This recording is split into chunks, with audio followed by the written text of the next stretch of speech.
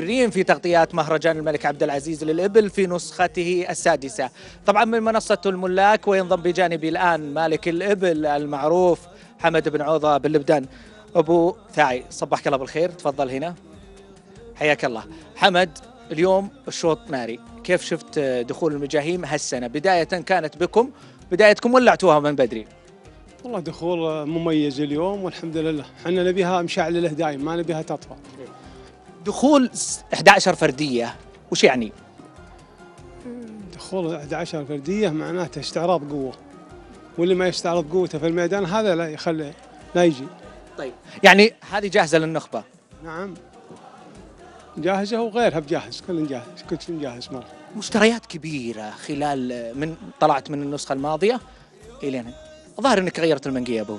والله الواجب إحنا نغير ما اللي بيجي على النمط الأول ما ما يروح ديره. وإذا ما غيرت ما ما وصلت اللي تبي. اليوم المراحل التطويرية اللي يمر فيها مهرجان الملك عبد العزيز للإبل بقيادة الشيخ فهد بن فلاح بن حثلين رئيس مجلس النادي. كيف تشوف هذه القرارات؟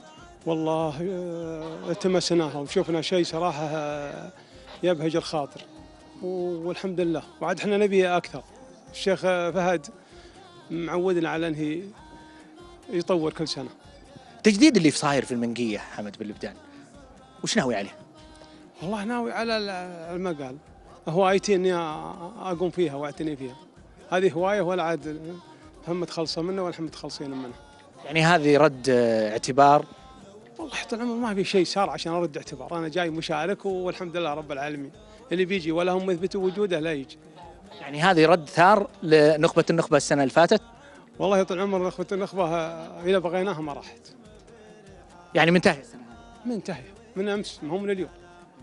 الله يعطيك العافية حمد. آه، شكرا لك. آه، طبعا إحنا